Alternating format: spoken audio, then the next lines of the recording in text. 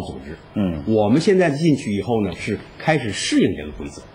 当然呢，早在八十年代初，邓小平同志就喊出了要建立世界公正的政治经济秩序，就是针对这些东西是非常不满意。嗯，但是这也需要时间，另外也需要力量。没有力量，没有更多的发展中国家意识到这些问题，大家联合起来，是不可能修改这些规则。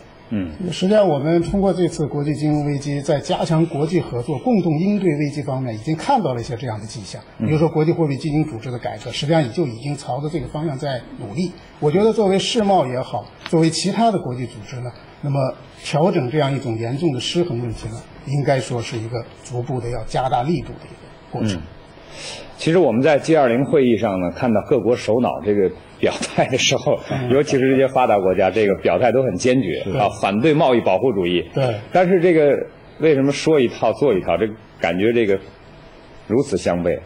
我还是那句话，这个贸易保护主义是臭豆腐，嗯，闻起来臭，吃起来香。嗯，所以本国有。就是对，要讲反对啊，嗯，一个比一个人调子高，嗯，哎，但是要干起来，他一个不比一个落后。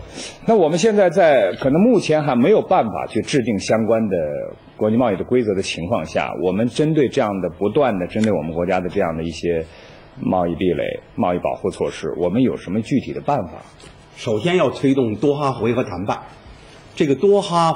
发展回合谈判，嗯，这个回合谈判是倾向于发展中国家的，要现在 G20 峰会人讲，要在明年年底之前达成协议，嗯，这个多哈回合达成协议之后，会大大的削减工业品和农业品进口关税，嗯，这对于自由贸易来讲是一个很好的促进，嗯，中国应当在这个多哈回合谈判起更大的推动作用，嗯，而且呢，现在这也是符合世界经济发展的潮流，但是它对。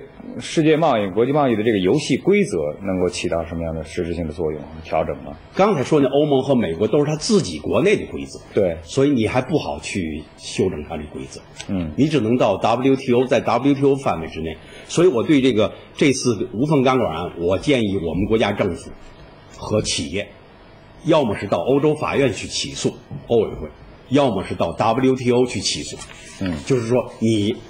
根只根据一个损害威胁，你没有严格按照 WTO 的基本规定来办，你是违背了 WTO 的基本规则。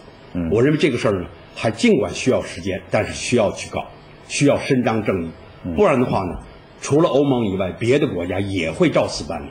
嗯，这是中国到现在几百起反倾案中的唯一的一起，仅凭一个损害威胁就反反击要成立。嗯。